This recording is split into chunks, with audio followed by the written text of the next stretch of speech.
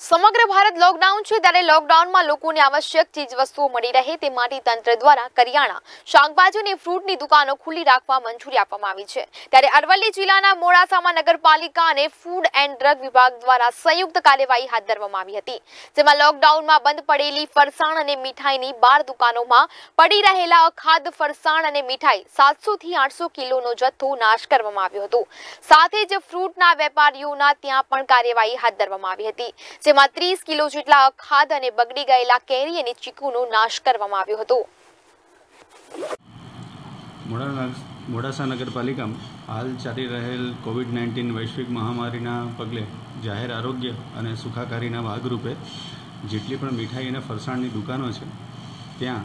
Food વિભાગના સહયોગથી, શ્રી પટેલ સાહેબ ફૂડ ઇન્સ્પેક્ટરના સહયોગથી નગરપાલિકાની સેનેટરી શાખાના શ્રી સુનિલભાઈ તથા અન્ય સ્ટાફ બધાએ એક સરપ્રાઇઝ ચેકિંગ હાથ ધરેલું અને જે કોઈ પણ અખાદ્ય મીઠાઈઓ, ફરસાણ કે બીજા જે અન્ય ખાદ્ય પદાર્થો છે, એનો નાશ કરવા માટેની તજવીજ હાથ ધરીને અંદાજે આઠસો કિલો જેટલો જથ્થો અલગ અલગ દુકાનોમાંથી અખાદ્ય જે હતો એનો નાશ કરેલ છે.